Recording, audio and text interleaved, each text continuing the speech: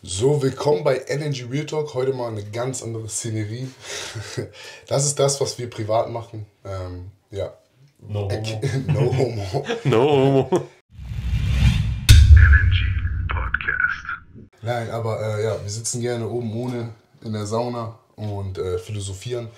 Richtig. Also, guck mal, warum machen wir heute diesen Podcast in der Sauna? Weil wir das Thema Regeneration euch einmal wirklich nahelegen wollen und euch einmal die Vorteile von der Regeneration zeigen. Für mich selber die letzten Wochen, du weißt, wie bei dir, sehr viel Arbeit, auch wenn die Leute denken, wir sind Bürgergeldverdiener und Harzer. Ähm, tatsächlich arbeiten wir wahrscheinlich mehr als Leute, die zwölf Stunden am Tag arbeiten, weil für uns gibt es auch keine Wochenende. Oder definitiv. Jeder Tag ist ein Arbeitstag. Genau. Und Nur, nur wir tun das, was wir lieben. Das ist unsere Arbeit. Das unterscheidet uns. Richtig. Und ich habe halt einen Wissenschaftler halt, ähm, letztens zugehört und der hat gesagt, es ist super notwendig in der heutigen Zeit die Tools zu nutzen, die wir haben. Und eine davon ist Sauna. Jeder sollte jeden Tag, das ist jeden Tag ist ein bisschen übertrieben, Ja. habe ich im Kopf gedacht, aber er hat das dann erklärt. So, und vielleicht kannst du uns mal erklären, weshalb du in die Sauna gehst. Okay, wir können einfach mal anfangen, wie ich das erste Mal auf Saunagänge gekommen bin.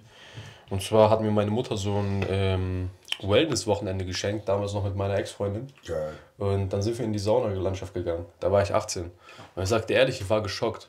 Weil Deutschland hat eine Saunakultur, wo alles FKK ist. Und das ist am Anfang immer so ein bisschen beängstigend, ne? Richtig, richtig. Und das hat mich richtig abgeturnt an der Sauna, um ehrlich zu sein.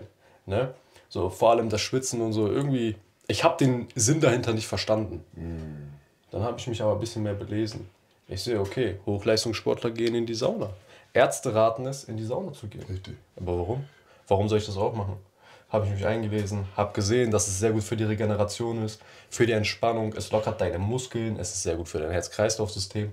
Und dann habe ich angefangen, es zu machen. Und inzwischen gehe ich mindestens dreimal die Woche in die Sauna, auch in die Saunalandschaften hin und wieder. Ne? Ich bin dann zwar keiner, der da seine Eier rumwedelt, aber das mal beiseite. Richtig. Sauna ist ein super regeneratives Tool und vor allem zum Beispiel direkt nach dem Training, wenn ich ein Fitnessstudio, ich habe mich jetzt extra in einem Fitnessstudio angemeldet, wo ich eine Sauna habe, weil es in meinen Augen das beste regenerative Tool ist, was du haben kannst. Krass. Genau. Heftig, okay, gut. Das ist, ähm, das ist, wie gesagt, das ist fast alles, weshalb ich auch in die Sauna gehe. Äh, für mich ist es einfach, dient es zur Entspannung. Ja. Von diesen, sag ich mal, für mich ist mein Leben kein Stress.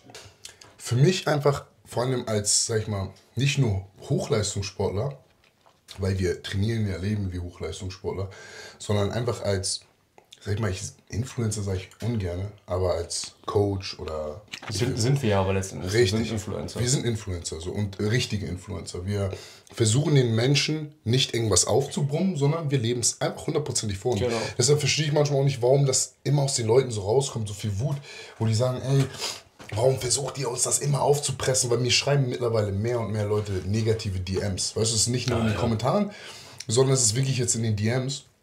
Und ich habe mal so einen schwachen Tag gehabt, da habe ich zurückgeschrieben und habe ich immer gemerkt, es bringt nichts. Also diese Leute sind so frustriert, da kann man denen gar nicht raushelfen. Das heißt für mich, ich muss einfach weitermachen, was ich tue. Ne? Und vor allem muss ich diesen Stress, weil du hast ja, wie gesagt, viele negative Kommentare, du hast viele Leute, die dich anzweifeln, viele Leute, die dich an... Dann hast du ja noch dein Umfeld, dein altes Umfeld, sag ich mal. Verstehst Du hast ganz viele Faktoren, die unbewusst zu Stress führen können. Und so ist es bei jedem. Ob du Müllmann bist, ob du Arzt bist, jeder hat jeden Tag mit einer Portion Stress zu tun, auch wenn er sehr stressfrei lebt. Bro, ganz kurz dazu. Ich glaube, wir leben in einer Zeit, wo wir noch nie so überladen an Stress waren. Genau. An Außenfaktoren, Dopamin die Stress verursachen. Stress, richtig. Genau. Ähm, Bruder, es sind die simpelsten Sachen. Alleine in der Stadt zu leben, ist Stress. Pur. Auto zu fahren. Die ganzen Lichter, Hupen, laute Geräusche. Auf einmal fährt ein lautes Motorrad vorbei. Das sind alles Stressfaktoren, die du dir so gar nicht bewusst bist. Richtig. Ne, und das, dementsprechend ist es wirklich wichtig, auch hier einmal zu entladen, auszuschalten und wirklich zu regenerieren. Und vor allem, was auch interessant ist, durch das Schwitzen verlieren wir ja sehr viele Giftstoffe. Also wir entgiften gerade unseren Körper. Richtig. Ne? Vor allem für einige Menschen sehr wichtig, die nehmen heutzutage ja nur Müllnahrung zu sich. Ja. Dann kann das hier helfen. Ich würde trotzdem empfehlen, dass du aufhörst, Fastfood zu essen. Aber Sauna kann dir erstmal helfen, ein bisschen zu entgiften. Richtig. Nee, hundertprozentig. Nein, hundertprozentig. Und ähm, Bruder, für mich ist es einfach nur Stress-Relief. Und ich muss ehrlich sagen, ich habe mir sehr schwer getan, mir die Zeit zu nehmen. Ja. Und das, daran merkt man immer, wie, wie wenig Zeit man sich für die wirklich wichtigen Sachen macht. Weißt du, weil ich antworte so vielen Menschen, ich schreibe mit so vielen Menschen, ich tue so vielen Menschen am Tag gut. Und dann verpasse ich dreimal die Woche Sauna. Ja. Wo ich eigentlich die Möglichkeit habe, jeden Tag in die Sauna zu gehen. So, ne? Ähm, guck mal, Unterschied. Ne? Man sagt ja, die Jungen, ich, mir schreiben viele Männer, ja, man will ja auch mal entspannen und eine Shisha rauchen. Ähm, was würdest du dieser Person als Tipp geben? Weil die Leute sagen mir, woher soll man das Geld nehmen, vier, fünfmal die Woche in eine Saunalandschaft zu gehen oder in eine Sauna? Ja, Bro, du hast es ja eigentlich schon beantwortet. Anstatt ähm, in Shisha-Bars zu gehen oder in Clubs zu gehen oder abends mit deinen Jungs was essen zu gehen, ihr könnt mit euren Jungs in die Saunalandschaft gehen. Ihr könnt dort auch was Angenehmes trinken tatsächlich, ne? Trinken? Das ist ja das Ding, Saunalandschaften haben meistens ähm, eine Bar, haben meistens ähm, sogar eine Gastronomie, also wenn du Bock hast, kannst du das machen. Bro, das ist nicht teuer. 12 Euro kostet ein Abend. Mach es nicht jeden Tag, mach es dreimal die Woche, das sind 36 Euro. Wenn du arbeitest, solltest du dir das auf jeden Fall leisten können. Vor allem, du weißt ja, dass es deinem Körper gut tut. Nur in dem Moment merkst du es gar nicht und stattdessen nimmst du lieber das, was dir schnell Glück gibt. Also kurz einen fetten Burger fetzen und dann eine Pfeife rauchen. Richtig. Das kostet zwar 50 Euro und keine 12, aber Genau. Ja, Und danach du bist kannst kurz du mir, also weißt du, weil guck mal, ich bin letztens mit meinem John und meinem Neffen, beide sechs, ähm, bin ich in den Park gegangen, nachmittags. Und ich bin an so eine Shisha-Bar vorbeigegangen und ich habe da so richtig traurige Gestalten in der Shisha-Bar gesehen und habe mir nur gedacht, ey, krass, schade, es ist 18 Uhr. Die kommen wahrscheinlich von der Arbeit und wollen einfach nur entspannen, weißt du, so. Und ähm, tatsächlich kam ich auch von der Arbeit. Das heißt, aus meinem Büro, verstrahlte Büro, habe äh, voll viele Calls gehabt, habe voll viel Arbeit gehabt und habe dann noch meinen Neffen und meinen Sohn abgeholt, weil ich meinen Neffen versprochen hatte, dass wir eine Einheit machen. Ja? Und ähm, ich schwöre es dir, hätte ich dieses Commitment nicht gemacht, weil ich hatte schon mein Training absolviert, hätte ich es nicht gemacht. Aber immer wieder zeigt mir, zeigen mir diese Wege, die Leute zu extrem finden und zu anstrengend, dass das wahre Entspannung ist. Weil als ich mit den Jungs wiederkam, haben wir alle unsere zehn Runden geballert. Ne? Die Jungs haben noch ein bisschen gerutscht und ich konnte noch ein bisschen extra Arbeit machen, ein paar äh, Skills üben.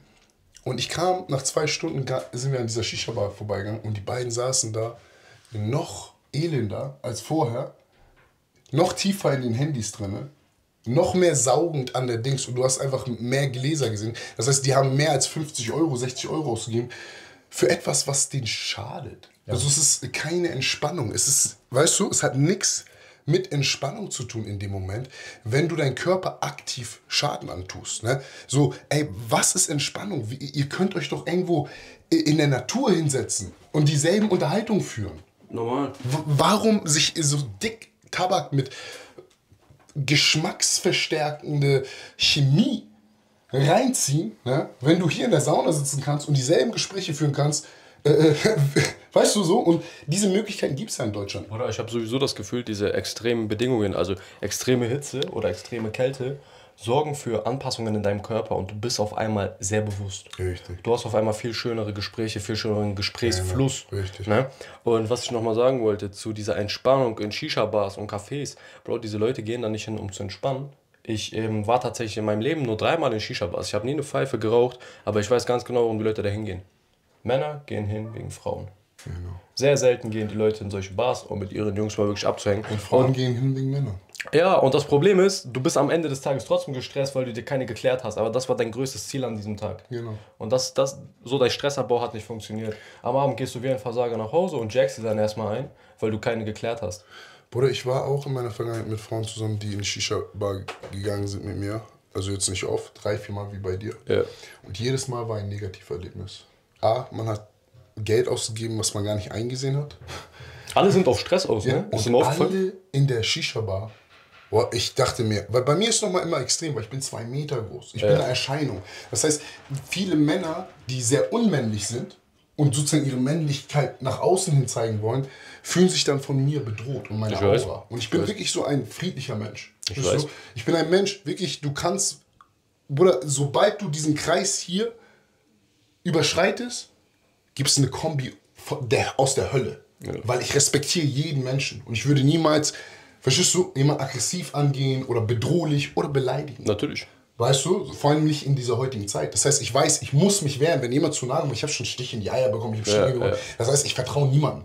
Aber Bruder, ich komme in ein, eine Shisha-Bar rein und ich habe zwei Stunden lang innerlichen Stress, weil Bruder, da guckt mich eine Männergruppe Ja. an, da, die reden über, so, Leute haben nur negative Energie. Alle sind hart und alle sind cool. Alle sind hart und alle sind cool und alle haben ihre dicken Autos vor, vor der Shisha-Bar Ja, ja. geparkt. Weißt du, was ich meine? Schön im Halteverbot und dann laufen sie raus, wenn die Bullen kommen und diskutieren mit denen und, und, und weißt du, und es ist einfach die Energie von solchen Orten ist einfach nicht für mich. Und es ist vielleicht für, die, für manche Menschen was, aber ich kann mir einfach nicht vorstellen, dass jemand in einen Club geht, natürlich in dieses mit 18, ahnungslos, ich will mal feiern gehen, aber jeder, der das erste, zweite Mal feiern war, ne, so war es bei mir, als ich 17, 18 war, Bruder, das war einfach nichts für mich. Da war mir zu viel Stress, da waren mir zu viele Schlägereien, da war mir zu viel von alles. Weißt du? Und, aber es war nichts Positives. Weil, wer- Bruder, wer lernt wirklich die Frau fürs Leben im Club kennen? Wer lernt- das, das, du willst nicht deine Frau des Lebens im Club kennenlernen. Also, Bro, wir sind ja nochmal eine perfekte Parallele, weil du bist ein Typ gewesen, der wahrscheinlich in seinen jungen Jahren etwas mehr in Clubs war. Und ich habe mich bewusst dafür entschieden, diese Orte zu meiden, weil ich sehr früh erkannt habe, dass es dort nichts Schönes gibt und nichts Gutes. Witzige Story. Tatsächlich war ich in jungen Jahren nicht viel in Clubs. Nein? Erst in- gar nicht. Ich, deshalb sage ich ja, Bruder, du oder Neshon, ihr erinnert mich so an mich. Mhm. Das Problem ist, ne, wenn du dein Leben lang alleine bist Ja. und du andere Köpfe um dich herum hast, die nicht so ticken wie du, dann bist du irgendwann wie die Leute um dich herum. Verstehst du? Es gibt Das so eine ist dein Geschichte. Umfeld. Genau, es gibt so eine Geschichte von so einem Adler. Habe ich letztens gehört. Mhm. Es wurde ein Ei gefunden. Dieser Ei war von einem, diesem Bald Eagle, amerikanischer Adler, ein Riesenadler. Ein Bauer hat dieses Ei gefunden und zu seinen Hühnereiern gepackt. Was ist passiert? Das Ei ist geschlüpft. Und dieser Adler hat mit den Hühnern gelebt. Und er wurde zum kleinen Hühnchen, ne? Genau. Und irgendwann hat er einen Adler gesehen, der rumgeschweift ist. Bro, denkst du, der hat irgendwas sich mit ihm verbinden können? Gar nicht. Dieser Adler war ein Hühnchen. Für den Rest seines Lebens. Weil sein Umfeld Hühner waren. Hört sich, hört sich sehr lustig an, aber es, es stimmt halt einfach. Ja, und es gibt viele Löwen, es gibt viele Adler, es gibt viele starke Personen da draußen, Ja.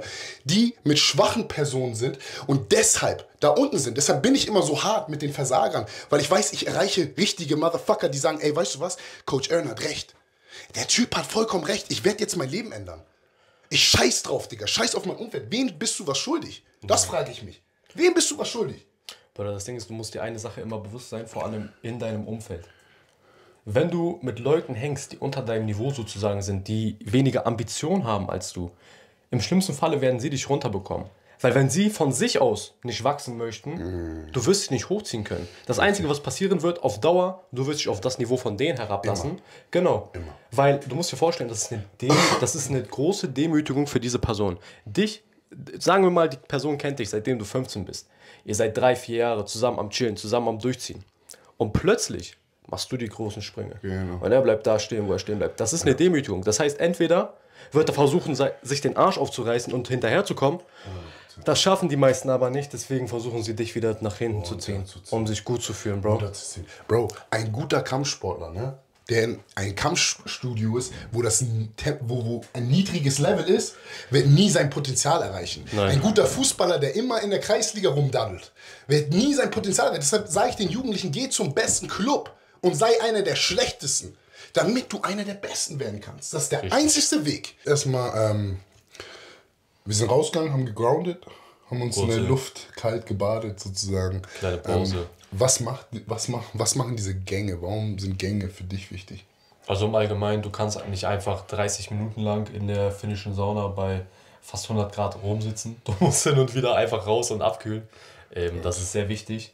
Ähm, tatsächlich hat mir Boran erzählt, wenn man zum Beispiel in die finnische Sauna geht, vier Gänge, a 15 Minuten. Und dazwischen geht man immer nur kurz raus und lässt sich abkühlen ohne Wasser. Das soll anscheinend für einen massiven Wachstumshormonanstieg sorgen. Ne? Aber Das ich, heißt, dieses Kaltduschen direkt nach, immer wieder, immer wieder, ist nicht das Optimale.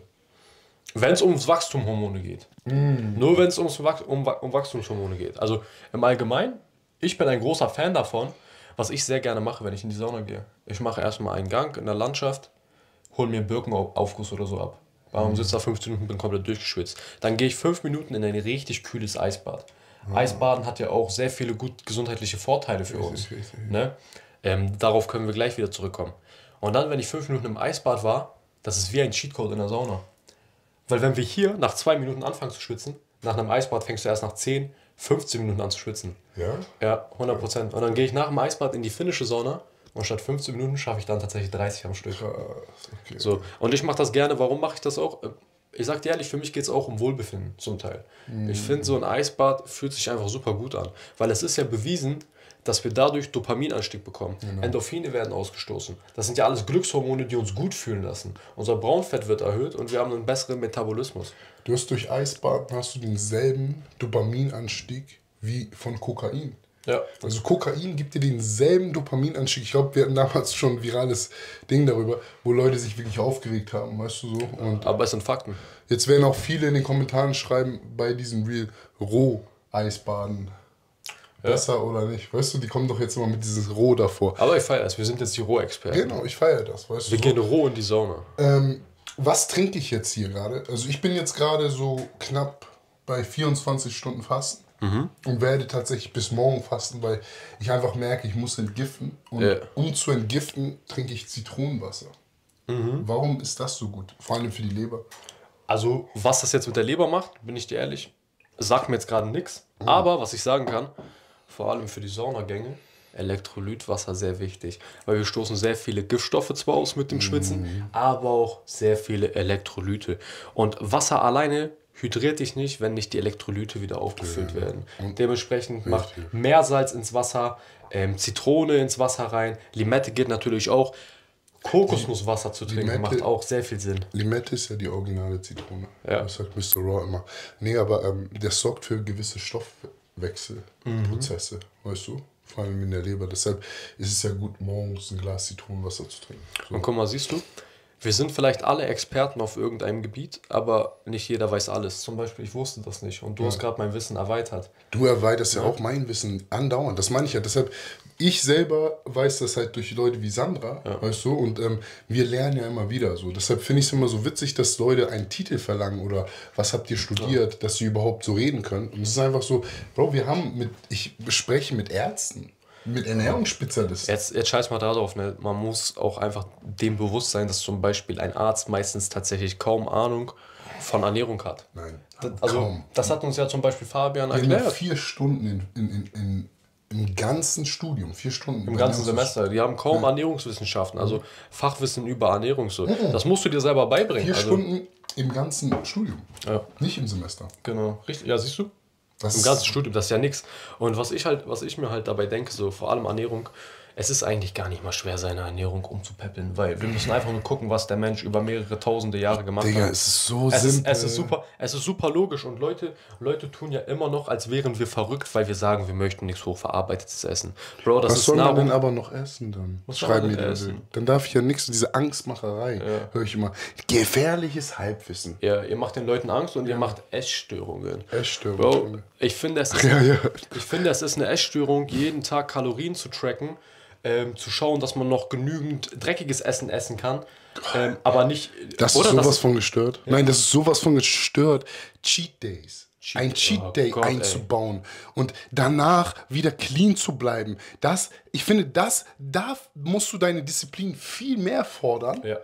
Weißt du, als, weil du kennst es selber. Wir haben zwar keine Cheat Days, aber wir haben mal Kohlenhydratentage, wo wir einfach ein bisschen mehr Kohlenhydrate, ein bisschen Sauerteigbrot äh, mit Honig, Butter. Wir haben dann Tage, wo wir ein bisschen mehr und danach, am nächsten Tag, nicht auf das Sauerteigbrot zu greifen, ist schwieriger als davor. Richtig. Und guck mal, das checken die Leute nicht. Du musst einmal alles sein lassen und dann ist es doch einfach. Leute schreiben mir ernsthaft, aber Bro, wie kannst du ohne Döner? Ohne Döner. Digga, wir essen jeden Tag Ribeye Steaks. Oder wir Was essen Zebrafleisch. Wir haben uns Zebrafleisch bestellt. Bison Steaks, Straußfilet. Straußfilet, Kängurufleisch haben wir hier, verdammte Scheiße. Wir wollen dir nicht zu viel verraten, aber das kommt jetzt in der nächsten Kochsendung. Wir essen hochqualitative Nahrung. Also wirklich hochqualitative und ihr isst lieber Gammelfleisch an der Ecke vom Dönermann. Und ich sage nicht, dass jeder Döner Gammelfleisch hat. Es gibt wirklich exzellente Döner, die wirklich gutes Kalbfleisch haben. Aber Bro, Brot, Zucker, Soßen, Zucker, äh, äh, Gemüse. Ist das 100% Demeter-Gemüse? Nein. Also, Oder das ist das Gammelgemüse von Gammelgemüse. Aber Bro, weißt du, was ich jetzt überlege? Warum zeigen wir den Leuten nicht, dass man das auch in gesunder Variante macht? Oder ich will so Oder du kannst, machen. du kannst einen gesunden Döner machen. Du brauchst nur qualitatives Fleisch, vielleicht einen Rumpsteak in ganz dünne Scheiben schneiden. Wir machen ein leckeres Sauerteigbrot. Bro, eine selbstgemachte Soße. Wir wollen dann ja, hast du das Ding. das Ding ist, das ist ja, wir sind ja, viele wissen gar nicht, wir sind gerade an einem Ort, um zu wirklich alles abzudrehen. Ja. Und ähm, ich glaube, einer der Pläne war es, dass Silvi und ähm, Sheila Sauerteigbrot machen, aber auch Sauerfladenbrot. Also das heißt, dass Mm. wir wirklich meinen eigenen Döner machen kann. Halt, ne? Und das ist so, ich, ich stelle mir meinen Döner ganz anders vor. Ich hole mir dann richtig schön Steaks und schneide das in hauchdünnen Scheiben, weißt du? Hauchdünn Scheiben und brutzel das dann in, in, in, in äh, G-Butter an. So dass es so diese. Oh, ja. Verstehst du? Du weißt, was ich meine, ne?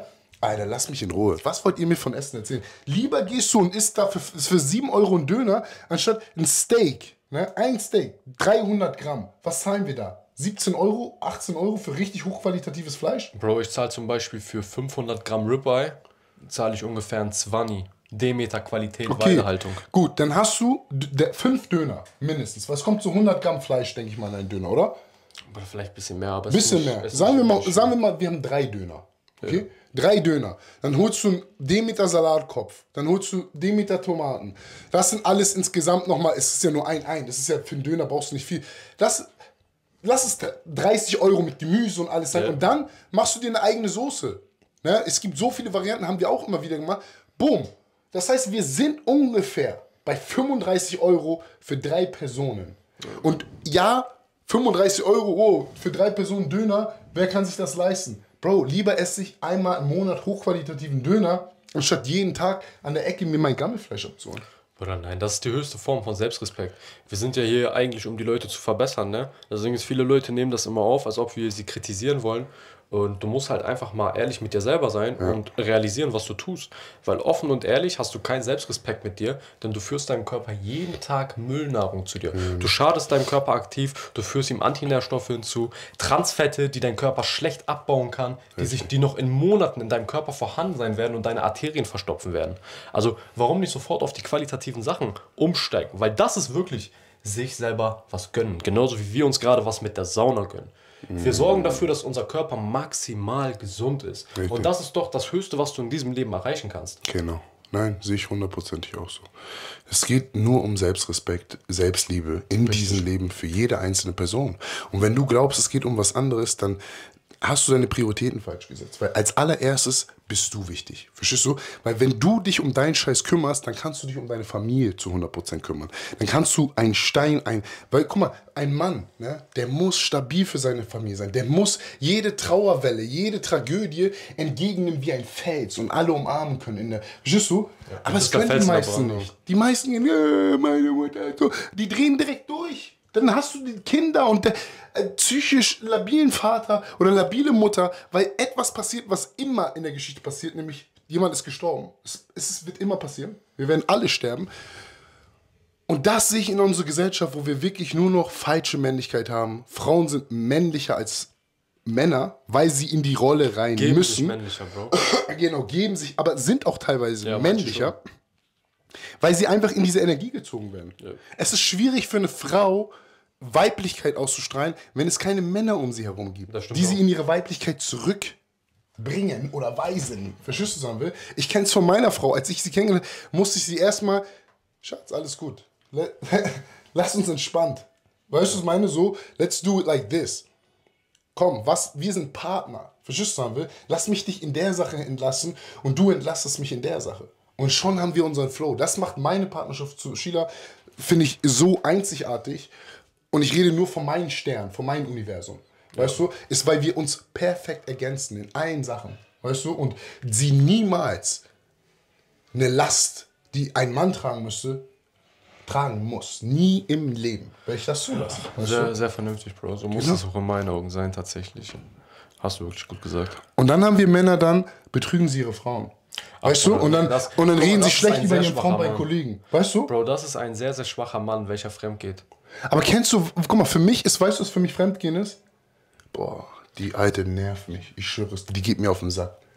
Das für mich ist schon, ich habe meine Frau betrogen. Und jede andere hier, ich weiß in den Kommentaren, wenn die jetzt durchdrehen, was laberst du jetzt, übertreibst du? Nein, Bro, das ist meine Partnerin. Ich rede mit niemandem über die Fehler meiner Frau. Außer mit ihr. Außer mit ihr. Ja. Und mit Gott. Und das war's. Verstehst du? Und genau dasselbe verlange ich von meiner Frau. Oder besser gesagt, genau dasselbe wird sie machen, weil ich es ausstrahle. Kommunikation ist der Kommunikation. Und das ist einfach verloren gegangen in der heutigen Zeit. Weißt du, du hast äh, irgendwelche Weiber, die reden mit ihren anderen Weiberfreundinnen über ihren Mann. Ne? Und Oder das ist absolut schlimm, Lo, was äh, Frauen teilweise miteinander bequatschen. Nein, weil die Männer. programmieren, du programmierst deine Freundin. Also guck mal jetzt, ich rede jetzt mit dir schlecht über Schüler. Ich sag, Alter, die ist so unordentlich, sie ist das, sie ist dies, sie ist das. Ne? Was passiert auf einmal in deinem Kopf? Bruder, ich denke schlecht über Sheila. Genau. Du, du verstärkst das Gefühl, ich werde dein Gefühl nochmal verstärken. Das heißt, du bist parteiisch. Verstehst du, es kann in, im, im Umfeld nicht mal gemütlich mehr sein für meine Frau. Und sie weiß es nicht mehr. Sie denkt, warum kriege ich solche Vibes? Andersrum genau die Frau. Ich habe mich gestritten, er ist so ein Schwein. Oh mein Gott, so ein Schwein. Ich werde... Weißt du? Und jetzt, genau jetzt hat sie sich mit ihm vertragen. Aber die Freundin ist immer noch auf dieser Negativenergie. Verstehst du? Und du denkst dir, was ist das denn für eine Kachbar? Warum ist sie so komisch? Jetzt passiert es, die Frau hat sich mit dem Mann vertragen, geht wieder zur Frau, wo sie immer nur negativ ablehnt und sie redet negativ und holt sie Ja. wieder in das Feld der Negativität. Das heißt, du hast einen Kreislauf kreiert, wo du nicht mehr rauskommst als Frau oder als Mann. allgemein, Leute reden mit zu vielen Leuten, die solche Sachen gar nicht angehen. Genau. Und ich sag immer, Misery loves company. Das Richtig. bedeutet, Bruder, angenommen, du hast einen Freundeskreis und das sind wirklich nicht die engsten Leute, du weißt, dass das nicht rational denkende Personen sind. Genau. Im Zweifelsfall werden sie immer dafür sorgen, dass es dir genauso kacke geht wie ihnen. Richtig. Das bedeutet, Bruder, du hast Stress mit deiner Freundin. Richtig. Deine Freundin redet mit ihren Freundinnen. Ihre Freundin hat nicht so einen heierten Mann wie du. Genau. Weißt du? Was wird sie machen? Ah, er sieht richtig für dich. Guck mal, das und das macht mein Freund. Er lässt Richtig. gehen. Die So, reden aus die- ihren eigenen mickrigen Genau, Erfahrungen. weil, Bruder, die wissen selber, was du für ein Typ bist. Genau, richtig. Misery Loves Company, die werden dich Genau. immer runterziehen. Man, Viel man will nicht alleine leiden. Man will nicht alleine leiden. Nein, das habe ich auch gesehen. Ne? Guck mal ganz kurz. Ne? Leute waren traurig, als ich entlassen worden bin. Glücklich, dass ich entlassen worden bin, auch Knast, aber traurig, Bruder, ich werde dich zu vermissen. Willst du nicht alleine hier sein im Knast? Du Schwein? Oder warum willst du mich vermissen? Alter, ich bin raus. Was, wie du willst mich vermissen? Was ist denn das überhaupt? Bro, weißt du, was ich meine? Das ist, Bruder, wie oft habe ich das gesehen, Bruder? Digga, wir sind so, wir wollen alle gemeinsam leiden, anstatt uns um uns selber zu kümmern und dafür zu sorgen, dass wir selber besser werden, dass wir unsere beste Version werden, damit wir die Leute um uns herum besser machen können. Weißt du, es ist heutzutage andersrum. Die Leute besudeln sich in ihren Leid und wollen, dass die anderen mit ihnen leiden. Alle wollen Mitleid, Bro. Ich will einen Leitkompagnon haben. Komm, lass uns heute einen trinken. Ich brauche das. Kennst du das? Ja, ich brauche das heute. Wir trinken uns. Wir saufen uns über. Scheiße, meine Frau, mein Mann. Bab, bab, bab. Das ist unsere Community. Und da müssen wir rauskommen, Bro. Bruder, guck mal, ich möchte auch noch eine Sache sagen.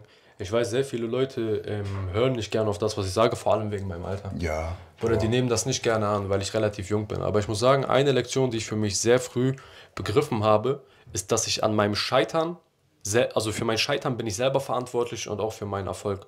Das bedeutet, ich versuche nicht Mitleid von anderen Personen zu bekommen. Ich versuche nicht die Fehler an anderen Menschen zu suchen, sondern ich weiß, immer wenn etwas schief in meinem Leben läuft, dann habe ich irgendwo eine falsche Entscheidung getroffen und die muss ich in Zukunft verbessern. Gar auch andersherum.